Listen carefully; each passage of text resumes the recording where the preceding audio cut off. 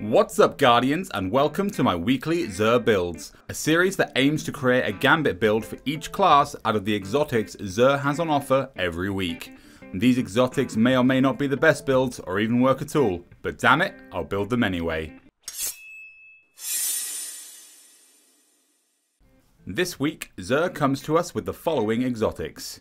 For the weapon, the Graviton Lance for 29 legendary shards. Hunters can purchase the Shinobu's Vow, Titans can get Armamentarium, and Warlocks are offered Getaway Artist. As always, each armor piece is priced at 23 shards. So let's look at the weapon to begin with. The Graviton Lance's exotic perk is Black Hole. Second shot of a burst rips a hole through space-time, doing high damage and recoil with no fall off. Its second perk is Cosmology. Kills with this weapon cause enemy targets to detonate and spawn void projectiles that track targets. If you're an Amazon Prime member, you could have gotten this with the Prime Gaming service a couple of days earlier, but really, it's only a middling sort of weapon for Gambit. You could pair it with Nezarec Sin to make the most of the void damage and keep your ability charge rate up, but it doesn't really have a place in any of the builds we have today. Speaking of which, our first build is for Shinobu's Vow. The exotic perk is New Trick. Improves Skip Grenade, and you gain an additional Skip Grenade charge. Skip Grenade returns energy when it damages enemies. I'm thinking that all three exotics this week lean towards a collector build. So with this in mind, we'll be starting off the hunter build on mid-tree arc, mainly for its devastating super, but the ebb and flow ability will be incredibly helpful for recharging our grenade quickly. Our weapons are the heritage shotgun in our kinetic slot, with the recombination perk, so our grenade kills bolster the damage dealt by the first shot of this weapon. In our energy slot, the gnawing hunger with demolitionist, which will recharge our grenades faster. Finally, the Lament Sword as our power weapon for its heavy boss damage. As our focus is on our grenades, we'll want to first improve our discipline stat to reduce the cooldown. Then we'll be running Ashes to Assets twice, Energy Converter, Shield Break Charge, Sword Reserves, Taking Charge, Sword Scavenger twice, Sustained Charge, and Bomber. The best tactic is to land your grenade in front of the enemies so it has the best spread when it splits apart into the homing projectiles. Because the skip grenade regains energy when it damages enemies, this allows us to quickly take down both red and yellow bars which recharges our energy again. If we run out of energy, we top it up with a gnawing hunger.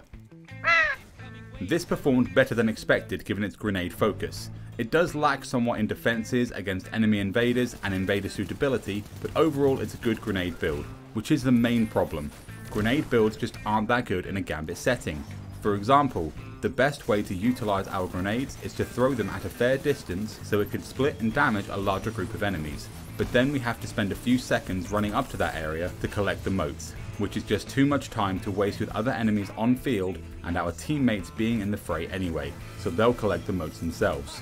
Having tested this as a collector, in the end I think it would be better suited as a sentry, negating the need to collect motes and just focus on using that distance to our grenade's advantage.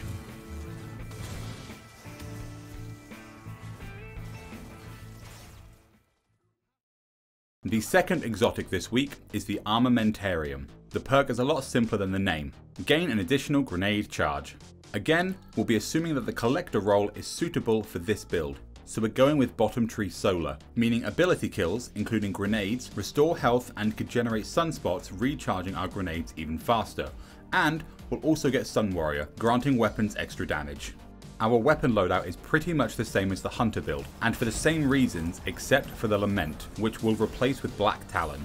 This way we can keep the high damage but the additional ability to fire a projectile will be very helpful against far off enemies, such as an opposing invader, or if the primeval is the dreaded meatball.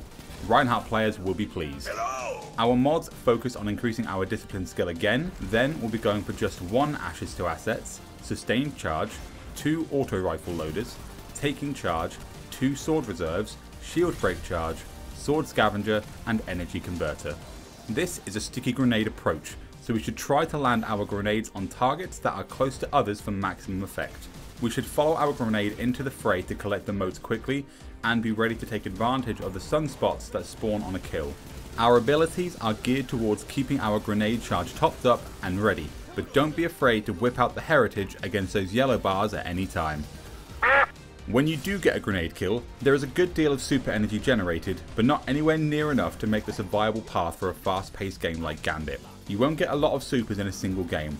Even though we're effectively doubling our potential grenade output with the armamentarium, it still isn't enough to make this a worthy choice. It's an unfortunate victim of the generally poor suitability of grenade builds in Gambit.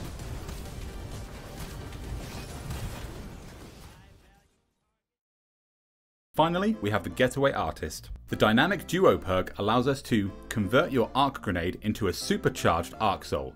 The arc soul functions as an autonomous turret. So, when you convert your grenade, you'll get a supercharged arc soul for 20 seconds.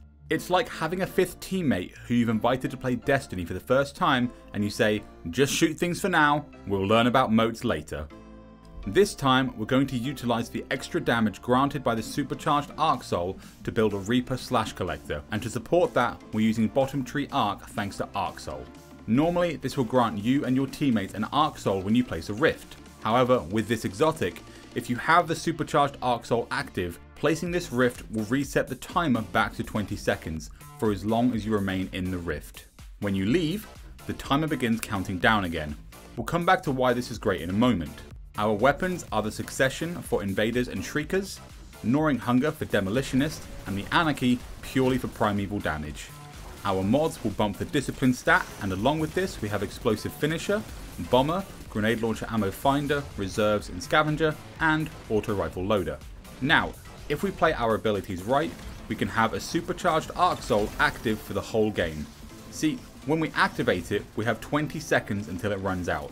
During that time, it'll be firing at the adds without missing, unless they hide behind a wall. With that added damage, we can swiftly take out enemies with our Gnawing Hunger, which will recharge the grenade energy due to the Demolitionist perk. When the timer gets low, we activate our Rift, bring it back up to full for its duration, which is even longer due to Electrostatic Surge. Then it will begin counting down again. All in all, we can extend the supercharged Arc Soul duration to as much as 60 seconds per cast. That's more than enough time for our grenade to recharge to full, starting the cycle all over again. I was genuinely surprised by this build.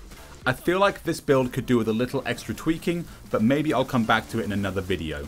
For now, the synergy of the Demolitionist perk and the Gnawing Hunger with the Arc Soul Rift and the supercharged Arc Soul exotic perk make for one beast of a build. I'd be surprised if you don't get the most kills in every Gambit match you play with this. It really is like having an extra teammate whose only goal is to assist you and you get all the credit. It doesn't provide any burst damage at a distance against enemy invaders, but it could come in handy if they get brave and try to approach you. The Arc Soul could deal the damage needed to grant a cheeky save. At any rate, this one has the potential to be a really solid build.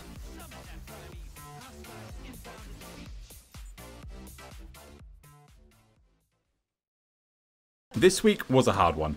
All three exotics have grenade enhancements which made me struggle to come up with differing strategies.